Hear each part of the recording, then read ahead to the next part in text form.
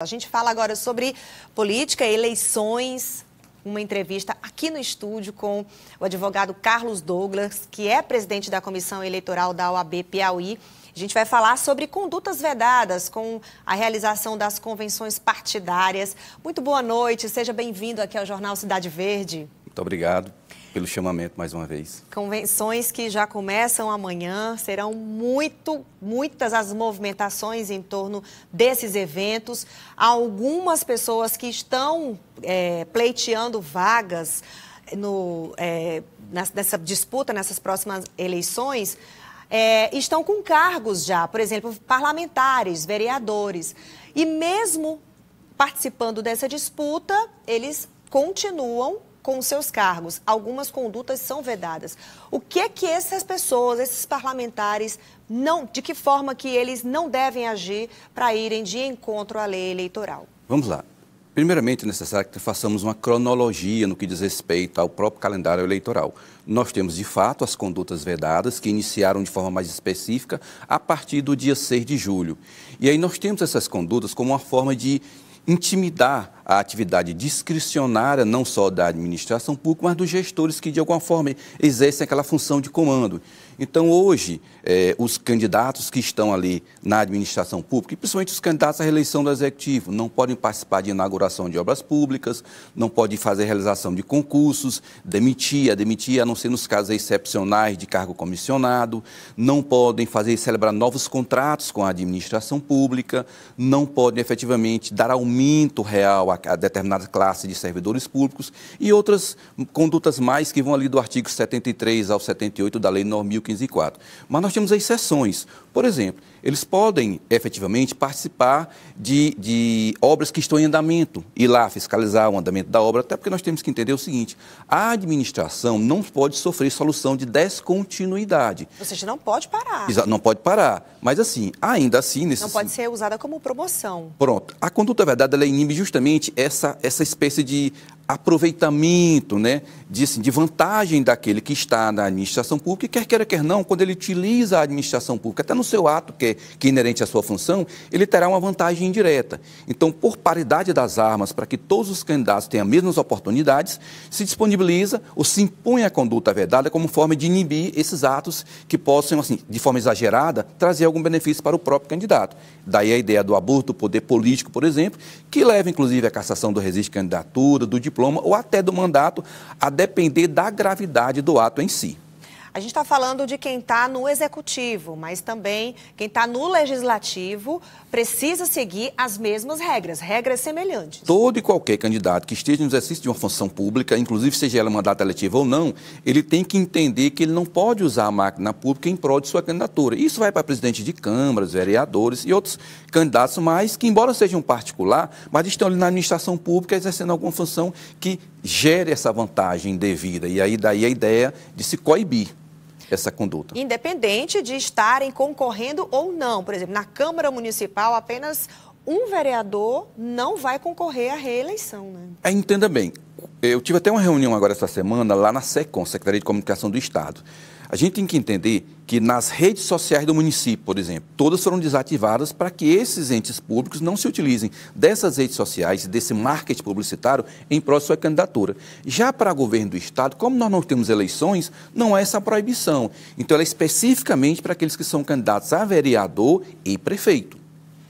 E aí vai depender da, do cargo que ele exerça. O importante é que ele não se utilize desse benefício da administração pública em prol da candidatura daquele vereador ou daquele prefeito. Ou ainda que eu não seja candidato e utilize da máquina pública em prol da vantagem de alguém que eu estou apoiando. Isso também é proibido. Bom, a gente está falando de um movimento que vai começar amanhã, mas ainda tem um prazo. As convenções partidárias elas vão homologar essas candidaturas. Começam amanhã, mas elas ainda vão até agosto. Então, nesse período, ainda também vai ser proibido fazer a, é, a propaganda eleitoral propriamente dita? Nós temos três espécies de propaganda: a propaganda institucional, que é aquela do próprio partido, a propaganda intrapartidária, que é essa que está ocorrendo nesse presente momento, por conta da realização das convenções, e a partir do dia 16 de agosto, a propaganda eleitoral propriamente dita. A propaganda intrapartidária, ela também tem alguns requisitos e especificidades, inclusive proibições. Como eu falei para você, eu não tenho ainda uma propaganda regular porque somente a partir do dia 16 de agosto. Então, assim, eu não posso fazer divulgação de carro de som, eu não posso fazer pedido explícito de voto, e é uma recomendação que a gente, enquanto instituição OAB e presidente da comissão é, estadual e membro da comissão nacional, é para que aqueles pré-candidatos não. É, se desloquem à convenção com camisas com nome e número de candidato, até porque há uma discussão quanto a camisas com cor de partido não vejo maiores complicações. Mas quando você vai com uma camisa com nome de candidato, com número de candidato, inclusive com material de propaganda eleitoral com nome e número, você está sim praticando propaganda extemporânea, porque somente após a convenção é que você vai ser efetivado como candidato com nome, número, que vai constar na ata do registro de candidatura. Ou melhor, na ata da convenção. E a posteriori no registro de candidatura, que é do dia 6 ao dia 15 de agosto. A partir do dia 16, aí você já é candidato, ainda que não tenha homologado ou deferido sua, sua candidatura, mas pode fazer propaganda eleitoral livremente. Então, assim, existem essas proibições, inclusive no que diz respeito à questão também é, de é, visualizações de internet, lives, porque, assim, não há uma proibição para a transmissão da convenção qual o problema? É se na convenção algum, algum pré-candidato, de forma desavisada ou até assodado, ou até na empolgação do evento, peça voto, ou seja, fale algo que denote uma propaganda extemporânea. E isso cai nas redes sociais, no Twitter, no Facebook, no Instagram, nas mídias como um todo, caracterizando uma propaganda extemporânea.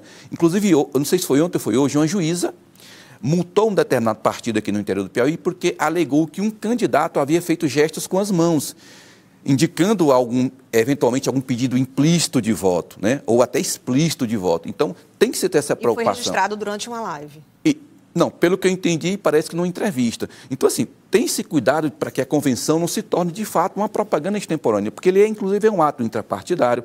Há até uma discussão quanto ao chamamento ao público. O público pode ser chamado, não pode ser chamado. Então, assim, como é um ato interno, a regra é que somente os convencionais vão estar lá presentes. Mas, claro que, na prática, existem algumas situações onde vai, vão familiares, né? E vão pessoas que são simpatizantes, e como é um evento que indiretamente é público, termina tendo esse aglomerado de pessoas.